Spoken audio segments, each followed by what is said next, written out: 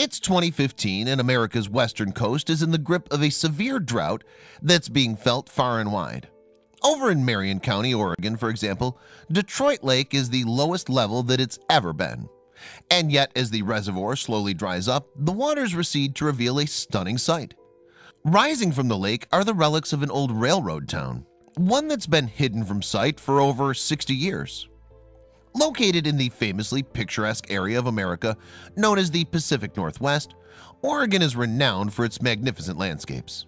From the state's golden sandy beaches to the lush green expanses of its parks, this is a place that delights millions of visitors every year. Now, one of Western Oregon's most popular attractions is Detroit Lake, a reservoir on the North Santiam River that lies near to the small city of Detroit in Marion County. At 9 miles long, Detroit Lake boasts some 32 miles of shoreline. And the water there also provides local residents with plenty of opportunities for fishing, swimming, boating, and other recreational activities. On top of this, Detroit Lake supplies water to neighboring communities, such as the city of Salem, which sits some 46 miles to the northwest. This state of affairs hasn't always been the case, though. That's because the reservoir was only created in 1953, when a dam got built to control flooding of the nearby Willamette River. And although Detroit Lake was constructed for practical reasons, it's since become arguably one of the region's most valued recreational sites, with sunbathers and swimmers enjoying the cool waters on hot summer days. That said, as with similar bodies of water, the weather can greatly affect the reservoir. Factors such as rainfall and snowmelt can cause the water levels to change, for instance. A lack of precipitation can drastically change the state of the reservoir too. You see, in 2011, Marion County, along with many of America's western coastal states, began suffering from a terrible drought.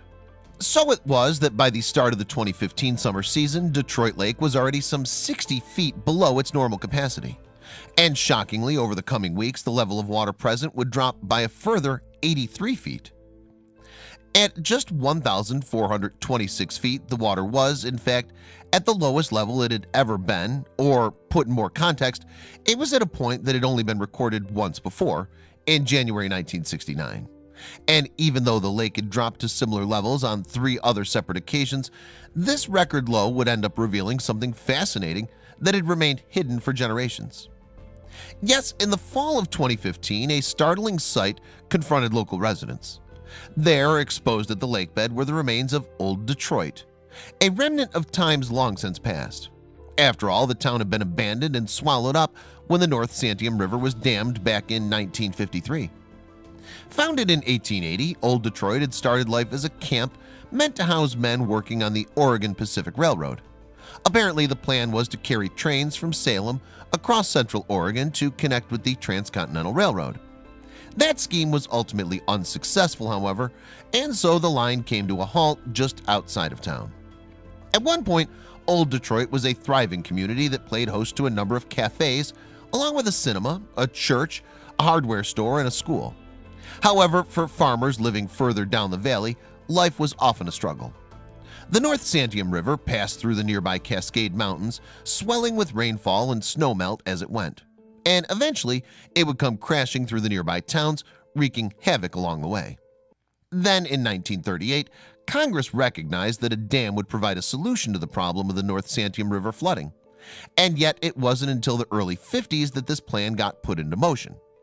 The Detroit Dam was proposed eventually, though, and the residents of Old Detroit therefore prepared to leave their town behind. By June of 1952, many residents had purchased land at a new site on a hill above the town. There they re-established the community of Detroit, even keeping the same name. In fact, some families simply dismantled their buildings piece by piece and relocated them to the new area. In 1953, the dam subsequently went into operation, and at the time it was the fifth biggest of its kind in the country.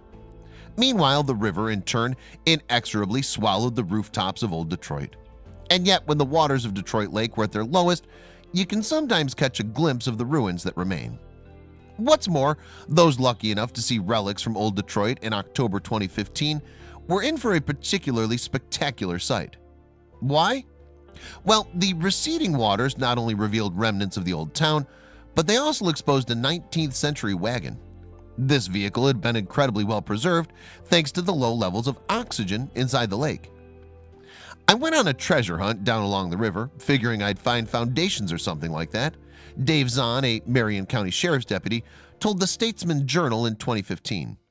Then I saw a piece of old history right there. The wagon, which dates back over 140 years, was most likely used to carry goods, and it had emerged from the lake bed lying on its side. Furthermore, a plaque on the vehicle declares that it was produced by the Milburn Wagon Company, based in Toledo, Ohio. Said company was the biggest manufacturer of wagons on the planet at the time.